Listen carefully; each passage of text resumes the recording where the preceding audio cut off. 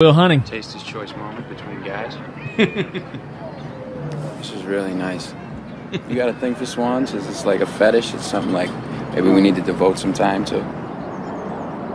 Thought about what you said to me the other day about my painting.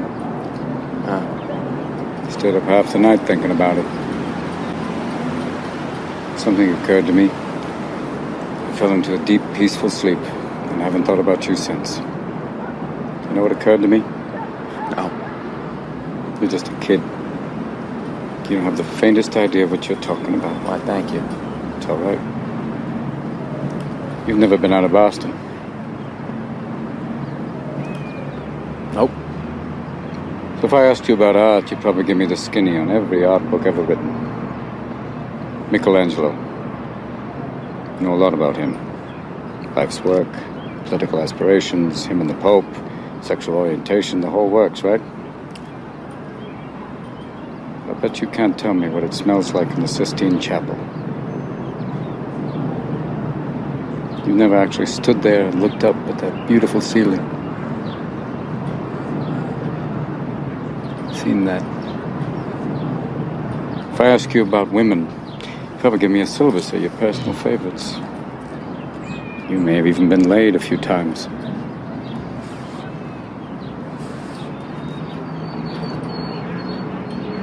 You can't tell me what it feels like to wake up next to a woman and feel truly happy. You're a tough kid. I ask you about war, you probably uh, throw Shakespeare at me, right? Once more into the breach, dear friends. But you've never been near one. You've never held your best friend's head in your lap and watch him gasp his last breath looking to you for I ask you about love, probably quote me a sonnet. But you've never looked at a woman and been totally vulnerable known someone that could level you with her eyes. Feeling like God put an angel on earth just for you.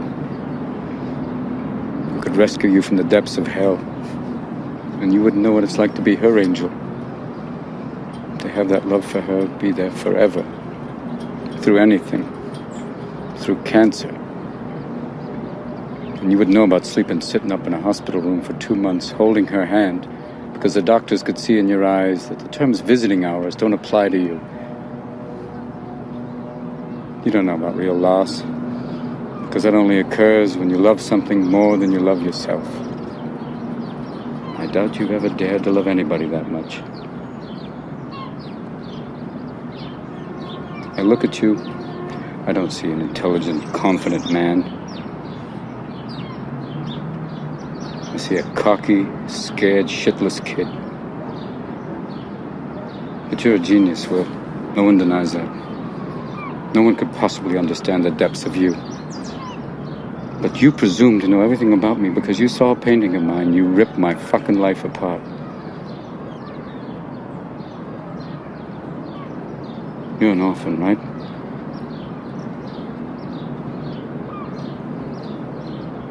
Do you think I'd know the first thing about how hard your life has been? How you feel? Who you are? Because I read Oliver Twist? Does that encapsulate you? Personally, I don't give a shit about all that because you know what? I can't learn anything from you. I can't read in some fucking book. Unless you want to talk about you, who you are. Then I'm fascinated. I'm in. But you don't want to do that, do you, Sport? You're terrified of what you might say.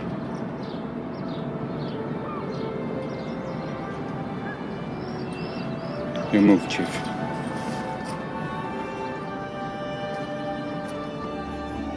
I'm sorry.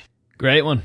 Yeah, So Very- good. Very similar to the Burgess Meredith, you know, kind of moment Yeah.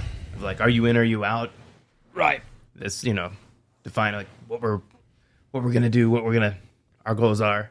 Yeah. Kind of sum up the relationship between the two characters, Right. mentor mentee. Yeah. Yeah.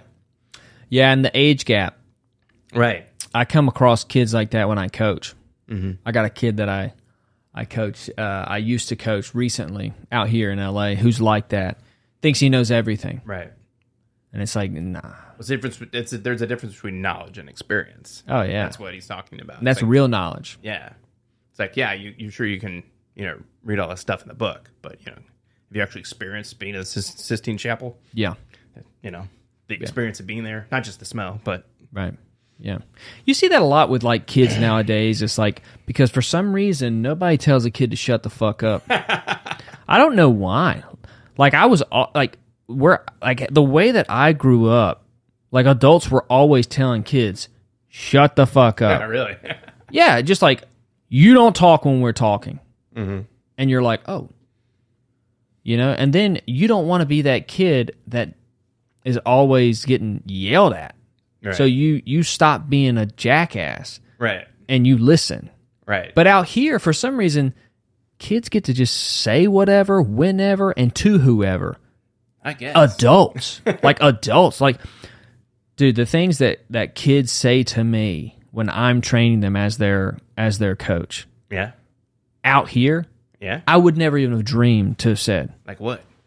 Like just to think that my coach and I are on the same level as pals.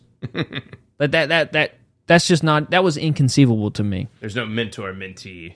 No, because I had respect for them. Mm-hmm. Because I respected my parents. Mm-hmm.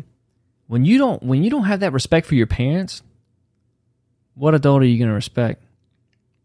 You know what I mean? Like Yeah. it, it all starts with the, the respect of your parents. Mm-hmm. Now, if you now the one thing that can kind of change that for a kid is having a coach that forces them to respect them. You know what I mean? By like mm-hmm. pushing them and like, oh, you're gonna talk, you got to run. There's punishment. You want to stay on the team and you want to talk, there's punishment for that, right? Right. Or you can quit, Right.